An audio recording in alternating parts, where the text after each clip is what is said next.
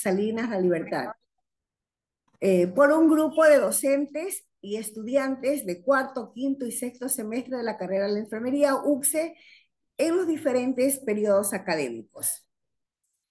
Esta ponencia, pues, se centrará en los esfuerzos, logros y desafíos de la implementación de HARS en una iniciativa global que se enfoca en mejorar la prevención y el control de las enfermedades cardiovasculares a través de seis componentes fundamentales.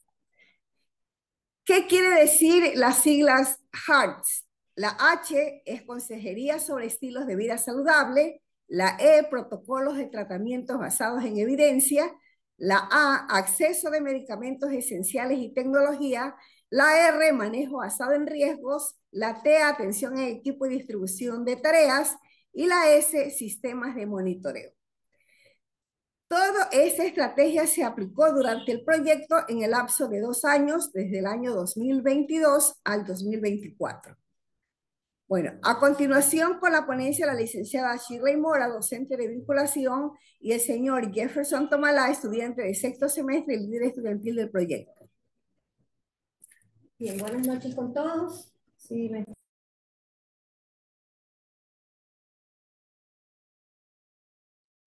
Eh, licenciada Shirley, tiene apagado el micrófono.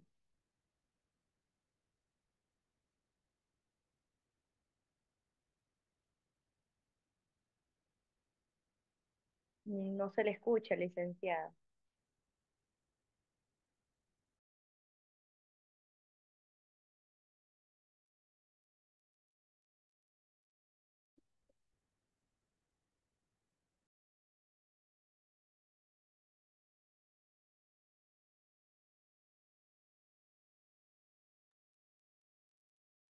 No se le escucha, mi lice. De pronto, este, desconecte los auriculares. El momento creo que usted colocó los auriculares. Ay. Eh.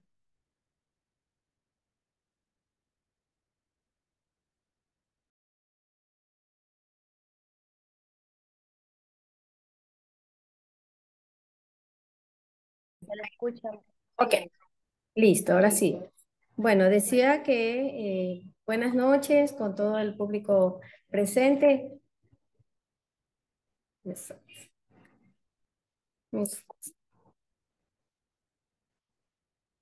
Perdón un ratito.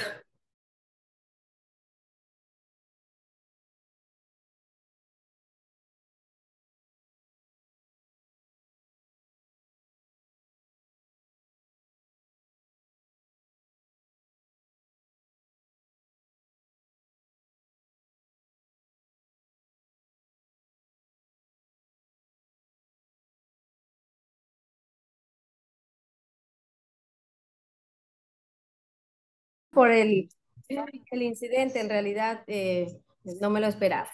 Bueno, eh, eh, luego del, de este saludo, pues vamos a iniciar con el, el, el, estudio del proyecto de investigación con la vinculación en la sociedad. la iniciativa HERS, promovida por la OMS, busca reducir la carga de las enfermedades cardiovasculares mediante las intervenciones en la atención primaria en el control de factores de riesgo presentados. Eh, los cantones de Santa Elena, eh, perdón, de Libertad Salinas, de la provincia de Santa Elena, eh, como muchas regiones, enfrentan desafíos significativos en términos de la prevención y control de las enfermedades cardiovasculares. la iniciativa HERS, como dijimos, promovida por la organización OMS, busca abordar estos problemas. Y por esto, pues, eh, aquellos usuarios que están en estudios son los que pertenecen al distrito 24 de O2, que se encuentran en Salinas, eh, con la comunidad de José Luis Tamayo, San Judas Tadeo, Santa Rosa y en Libertad con Virgen del Carmen. Eh, aquí vamos a observar que en este distrito los usuarios presentaban muchos factores de riesgo y que ya lo vamos a nombrar en, en lo posterior. También quiero hacer hincapié con las IAS, ya que es el tema del Congreso, que ellas están desempeñando un papel crucial en la promoción de salud y no solamente en esta iniciativa, sino en todo lo que es la atención primaria de salud, ayudando a prevenir, diagnosticar y gestionar estas enfermedades con mayor eficacia. Cuando hablamos de los factores de riesgo, podemos ver que existen patologías con riesgo de enfermedades cardiovasculares como la hipertensión, la obesidad, la diabetes, el sedentarismo, entre otras. Tenemos también que existen determinantes sociales como la pobreza, el bajo nivel educativo de, los, de, la comunidad, el acceso eh, limitado a alimentos, que ya lo vamos a ver en los resultados en, en las próximas exposiciones, y que estas contribuyen significativamente a la alta incidencia de enfermedades cardiovasculares. Podemos también tener como un factor de riesgo el limitado acceso a las unidades de salud, ya sea porque no existe eh, una que esté muy cerca de su domicilio o porque muchas veces son adultos mayores que tienen que movilizarse y mantienen esta, eh, este inconveniente. También algunos de ellos manifestaron que tienen que hacer llamadas en call center para poder acceder a un servicio de salud y esto nos limita mucho. Otra barrera que tenemos es las barreras económicas porque eh, muchas veces, como en los centros de salud no hay servicios especializados cardiovasculares, tienen que buscar eh, en lugares particulares donde el costo es muy elevado y no tienen acceso a esto. También podríamos decir que evidenciamos falta de conciencia pública eh, en cuanto a la alimentación, en cuanto al hacer ejercicio físico, o sea, hábitos de vida que sean saludables. Entonces, allí es donde podemos ver estos factores de riesgo. Luego tenemos los objetivos que nos planteamos. En el objetivo general tenemos mejorar la calidad de vida de los habitantes de la población de Santa Elena frente a estos riesgos de salud de enfermedades cardiovasculares. Eh, para esto planteamos objetivos eh, específicos como identificar la población de riesgo en adquirir enfermedades cardiovasculares, disminución del riesgo cardiovascular en los habitantes de la provincia de Santa Elena, 22-24, aplicar estrategias de promoción de salud y prevención de enfermedades. La metodología de investigación que se utilizó fue eh, la aplicación del marco lógico, que es una herramienta de planificación, gestión y evaluación de proyectos. Previamente se realizó un análisis de situación a través de la identificación de los problemas de salud cardiovascular específicos, Salina, La Libertad. Como alta eh, prevalencia tenemos la hipertensión, la obesidad, la diabetes. Las estrategias que se desarrollaron para alcanzar los objetivos específicos fueron campañas de sensibilización sobre la hipertensión, programas de control del tabaco, promoción de actividad física, talleres, eh, capacitaciones, formar promotores para lograr estos objetivos. Asimismo, se planificaron actividades concretas para implementar estas estrategias, como el control de signos vitales, que se lo hacía eh, visita, eh, visita casa por casa, se les hacía también control de glucemia, control de índice de masa corporal para poder después identificar si estas estrategias pues, eran efectivas, ¿verdad? Asimismo, se, lograba, se, se trataba que el paciente tuviera un direccionamiento a chequeos de salud gratuitos, porque muchos de ellos son adultos mayores y no podían eh, comunicarse con el call center. Bien, y antes de pasar a los resultados que, que lo, lo, dirá eh, Alex, vamos a hablar un poco de la contribución que hacen las IAS a la lo que es prevención. Tenemos los análisis de riesgo, que es una contribución porque nos permite eh, brindar datos estadísticos o demográficos que sean efectivos. Educación y concienciación. Eh, podemos también tener eh, por medio de las guías muchos videos, información que podremos darles a los, de manera más sencilla a estos beneficiarios. Puede haber un diagnóstico temprano por las eh, herramientas eh, que existen en la actualidad. Herramientas de monitoreo, la telemedicina, que es muy importante también cuando el, el paciente no tiene acceso a ir a las unidades médicas. monitoreo a la adherencia y los recordatorios automatizados por medios de móviles con alarmas para recordarle su, la toma de su medicación. Y también se puede implementar en la atención primaria para capacitación, para la integración de salud, ¿verdad? Eh, y otros eh, usos.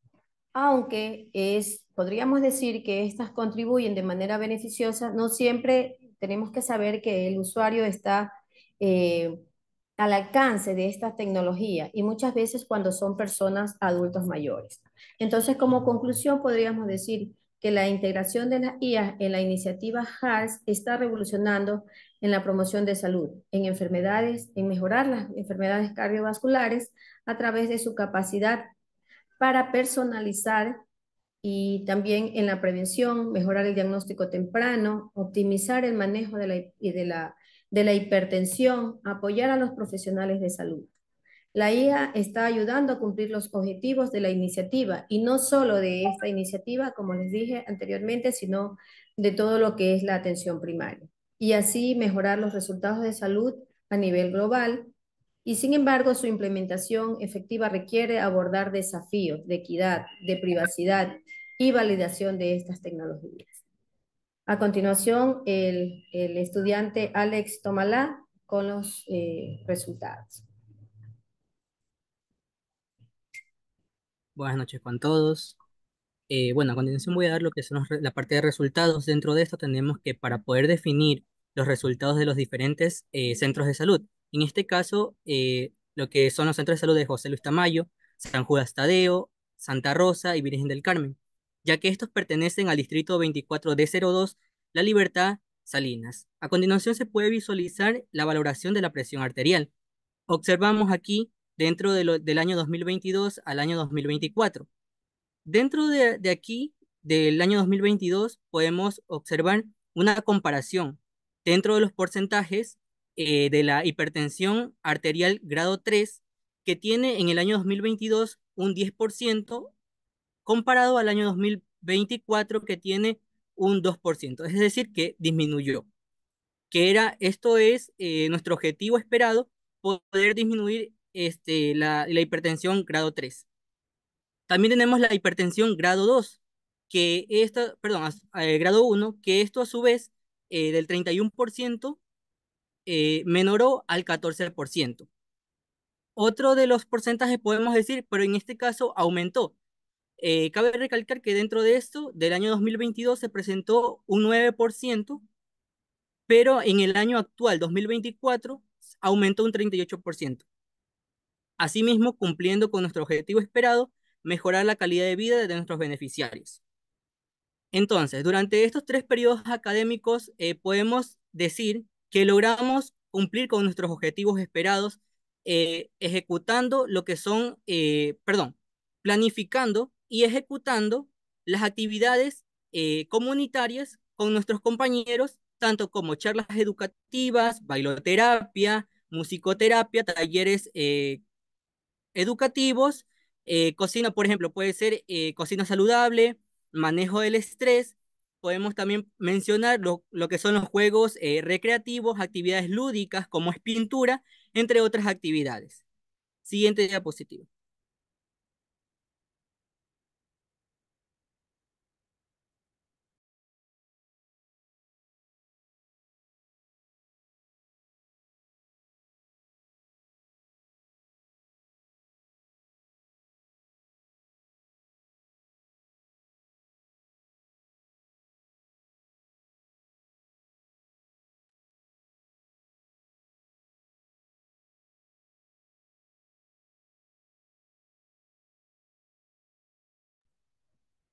No se escucha, Ale. Ya, siguiente diapositiva, por favor. Ya, ahora vamos aquí a lo que es el, eh, lo que es el sexo y el rango de edad. Podemos observar que dentro de aquí, eh, de nuestros 103 beneficiarios que culminamos este periodo 2024-1, eh, podemos observar un 62% que fue femenino y un 38% que fue masculino, culminando este, este proyecto. Dentro de los rangos de edad, nosotros tomamos de referencia la edad entre 30 a 39 años, eh, también de 40 a 49 años, de 50 a 59 años, de 60 a 69 años, de 70 a 79, de 80 a 89 y de 90 en adelante. Entonces, aquí ustedes pueden observar lo que son los porcentajes. Dentro de, esto podemos decir que hubo un, este, un por ciento, un 3%, un 12%, un 39%, un 27%, un 17% y un 1% que, que, cabe recalcar que es de aquí de, de 90 a más. Siguiente diapositiva. Ya, tenemos aquí lo que son las patologías bases dentro de esto. Eh, dentro del programa de promoción de iniciativa de las HEARTS, eh, tenemos eh, la diabetes, mellitus tipo 2 y la hipertensión arterial.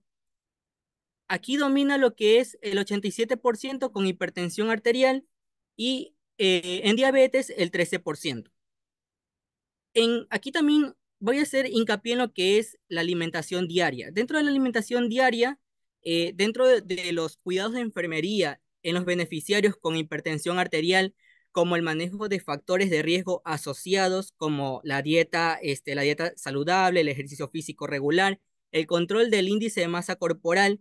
Por otra parte, de la promoción, por otra parte también tenemos lo que es la promoción de la autogestión eh, de, los, de los beneficiarios, como por ejemplo fomentar eh, la participación activa en los beneficiarios la educación para la salud, promover estos cambios, estos cambios de, estilos de vida, eh, apoyo emocional tanto para el beneficiario y también para la familia, entre otros. Entonces, dentro de esto de la alimentación diaria, podemos decir que se realizó una encuesta nutricional en la cual los beneficiarios, eh, una persona mencionó que come una vez al día, quizás por factores socioeconómicos o determinantes de la salud, eh, se menciona esto.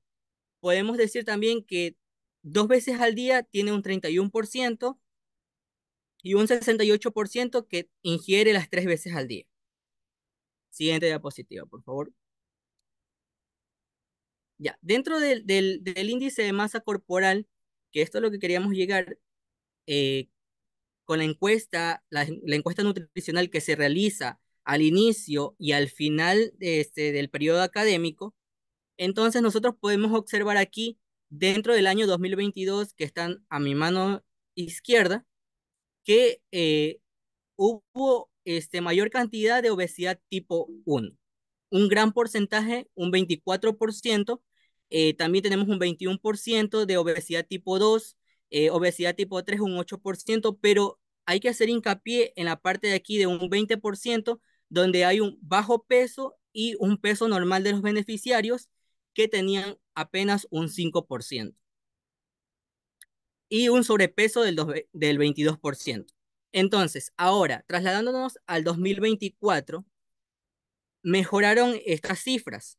Es decir, que dentro de esto tenemos un, este, un bajo peso de un 4%, un peso normal del 49%, sobrepeso un 34, es decir, esto se fue, se fue equilibrando mediante las actividades comunitarias que se implementó durante estos tres periodos académicos. Entonces podemos decir que también se obtuvo esta, este tipo de base de datos en la cual eh, fue entregada por los centros de salud, donde se depuró también eh, dicha matriz, que más adelante lo vamos a ver, eh, donde se encontró beneficiarios que se retiraron por varias razones. Por ejemplo, por fallecimiento y también por cambio de domicilio, tanto que se dio por la inseguridad que vive actualmente en nuestro país. Siguiente diapositiva, por favor. Ya, a esto quería llegar. Aquí, tenía, aquí tenemos nuestra base de datos dentro del periodo 2024, 2020, perdón, 2023 1, 2022, 2023 2 y 2024 1. Aquí se rigen por los cuatro, los cuatro subcentros, tanto José Luis Tamayo, San Judas Tadeo, Santa Rosa, Virgen del Carmen, y aquí están, eh, ustedes pueden observar los diferentes meses. Nosotros eh, dentro nos vamos a enfocar aquí del 2023-1, que nosotros iniciamos, nos entregaron el proyecto eh, con 400 beneficiarios, pero nosotros hicimos visitas domiciliarias en el cual ya mencioné cuáles fueron esos factores del cual se, se redujo o se depuró este, esta matriz, en la cual eh, nosotros constábamos en el 2023 uno con 117 beneficiarios. Esto solo fue depuración. En el 2023 2 tuvimos una captación, como podemos observar en las gráficas, tuvimos una captación de 250 beneficiarios, finalizando este periodo académico que eh, culminó en diciembre. Siguiente diapositiva. Ya. Dentro de este, de este último periodo académico, que culminó hace poco, tenemos que también se volvió a depurar la base de datos, culminando este periodo con 103 beneficiarios. Podemos observar que en José Luis Tamayo culminamos con 52 beneficiarios, en San Judas Tadeo con 22 beneficiarios, en Santa Rosa con 12 beneficiarios y en Virgen del Carmen con 17 beneficiarios. Siguiente diapositiva.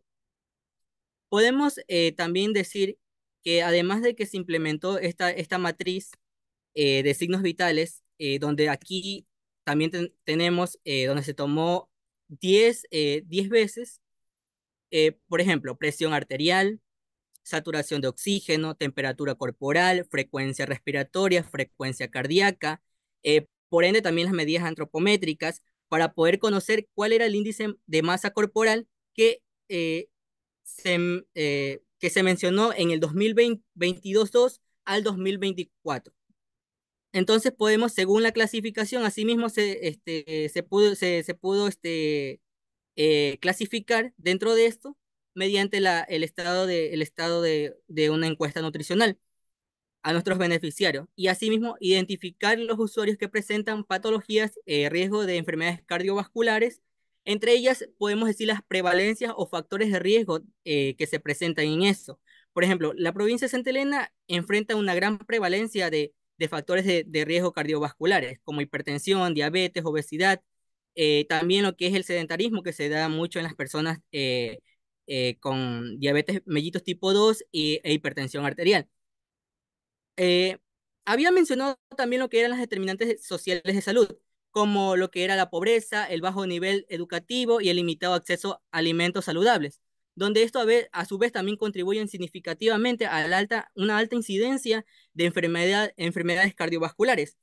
Ustedes pueden observar aquí lo que son actividades, las actividades realizadas que se, se impartieron durante estos tres periodos académicos, que ya se habían mencionado, eh, charlas educativas, este, también este, musicoterapia, bailoterapia.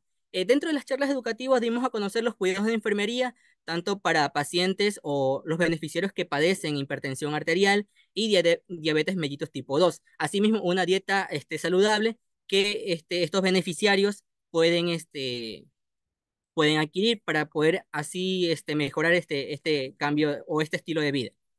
Siguiente diapositiva, por favor.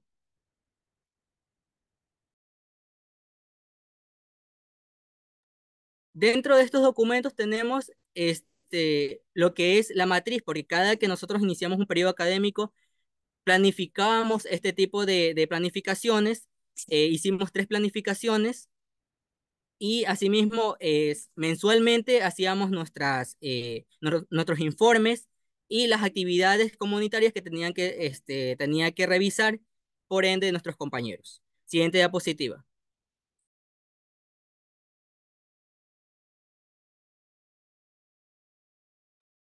Aquí, como pueden observar dentro de las conclusiones, podemos decir que tenemos el impacto, este impacto que, que tuvo este, que obtuvo, el proyecto como tal, impacto positivo en la salud cardiovascular y en enfermedades crónicas. Dentro de esto, el proyecto logró eh, la conciencia sobre las enfermedades cardiovasculares y promover a, su vez las prácticas saludables en la comunidad objetivo.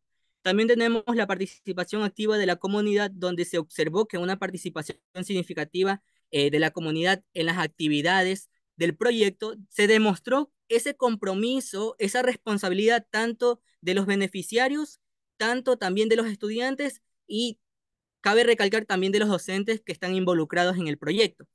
Dentro del compromiso de, de la promoción de la salud, también podemos decir sobre la adaptación a desafíos externos. Dentro de esto podemos decir que a pesar de las dificultades que se obtuvo durante la pandemia de COVID-19 y la inseguridad que vive actualmente en nuestro país, el proyecto se logró adaptarse y mantener sus objetivos principales. Eh, también tenemos la colaboración institucional exitosa. Dentro de esto, la colaboración de diferentes entidades, incluyendo instituciones de salud, como el Distrito, Distrito 24D02, eh, organizaciones comunitarias, que esto fue clave para el éxito de nuestro proyecto. Tenemos el aprendizaje continuo y de mejora. Dentro de esto también nosotros tuvimos una evaluación, una evaluación y también una retroalimentación constante que nos permitió ajustar y mejorar aquellas estrategias que se puedan implementar a lo largo de nuestro proyecto. También tenemos eh, que dentro de esto, eh, las recomendaciones, cabe recalcar que la continuidad de las actividades se recomienda que asegurar la continuidad de actividades iniciadas, especialmente aquellas que demostraron ser efectivas en la promoción de la salud cardiovascular. Eh, como segundo tenemos el monitoreo y evaluación periódica. ¿Qué, ¿Qué nos trata de decir esto? Que debemos implementar sistemas de monitoreo y evaluación para seguir midiendo ese impacto del proyecto, tanto a largo plazo y ajustar estas estrategias según sea necesario. La incorporación de tecnologías innovadoras. Se debe considerar también que la integración de estos equipos eh, tecnológicos seguros para poder medir lo que es la, la presión arterial y mejorar esa eficacia y la efectividad de las intervenciones. Promoción de buenas prácticas, donde nosotros tenemos que poder compartir las lecciones aprendidas, esas experiencias que nosotros como estudiantes adquirimos día a día en la actividad comunitaria o en la comunidad para así nosotros tener este, proyectos similares para ampliar este impacto y la replicabilidad. perdón, este, la, la replicabilidad. Tenemos también lo que es el involucramiento continuo de la comunidad. Aquí podemos hacer énfasis en lo que es fomentar la participación continua y a su vez también continua eh, de lo que son los logros alcanzados dentro de la comunidad, dentro de una buena planificación y asimismo una ejecución de futuras iniciativas de salud pública, porque esto de actividades comunitarias es dentro de lo que es la malla de, salud pública. Entonces, dentro de estas conclusiones y estas recomendaciones, no solo se va a destacar los logros destacados, sino que también van a proporcionar una guía estratégica para poder asegurar que los beneficiarios del proyecto HEARTS perduren y se fortalezcan en el tiempo donde se van a beneficiar tanto en salud de la comunidad a largo plazo. Siguiente diapositiva. Como último, quiero destacar, eh, dejar este, este mensaje o esta frase. Cuando la alimentación es mala, la medicina no funciona. Cuando la alimentación es buena, la medicina no es necesaria. Muchas gracias.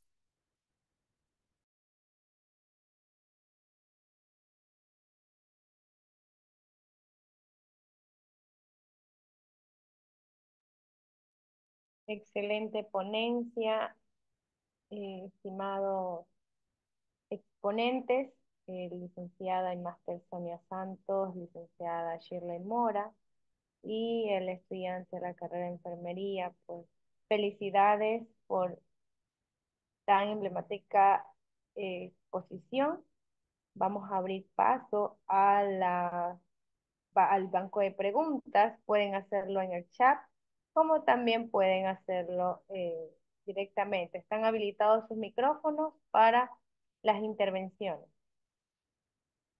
Por aquí ya, hay, eh, ya están las felicitaciones para los expositores sobre el tema presentado. Eh, eso nos dice la licenciada Anabel Sarduy. Él nos dice por acá Vanessa Sá, felicidades, excelente ponencia, compañeros. El doctor Zapata también les deja sus felicitaciones. Master Sonia, Master Shirley Mora, eh, joven estudiante Jefferson, excelente proyecto. La licenciada Silvia Castillo, felicidades compañeros. Nicole Panchana, excelente ponencia. Carla Mero, excelente ponencia. Eh, la doctora Carmen Lascano Espinosa, felicitaciones al grupo, excelente ponencia. Ana Yeli Ramírez, felicitaciones, excelente ponencia. Zully Díaz, licenciada, felicidades, excelente ponencia. Eh, estamos ahí todos habilitados con sus micrófonos abiertos para hacer preguntas de pronto acerca de la ponencia que se abordó.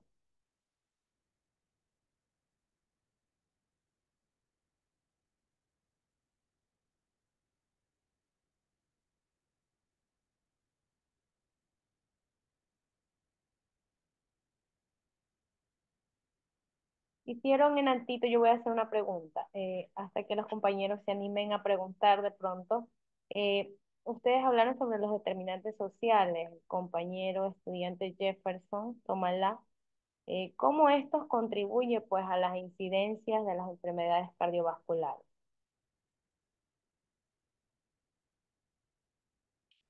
A ver, eh, tiene cerrado el micrófono, Jefferson, tiene cerrado. Eh, sí, este, cómo estos contribuyen, porque mediante de esto nosotros podemos observar, eh, porque nosotros hicimos unas encuestas en la cual nosotros también promocionamos, no, no netamente con, solo con el beneficiario, sino que con la familia. Conectamos con la familia para poder llegar a un consenso de cuáles eran esos factores, si eran eh, tanto familiares, podrían ser socioeconómicos. Entonces, lo que nosotros hacemos como proyecto es promocionar esas buenas prácticas. Es decir, nosotros tenemos que tener esas lecciones y mejorar en ver en qué fallamos o, qué es lo que, cuáles son este, esas fallas de, la familia como tal para que el beneficiario, porque muchas veces decimos o muchas veces se dice que el, paciente eh, padece esa enfermedad, pero a su vez también es psicológico. Entonces, esa participación continua tiene que ser comunitario, es decir, entre el personal de salud, entre la familia y el individuo. Muy bien, eh, felicidades Jefferson. Eh,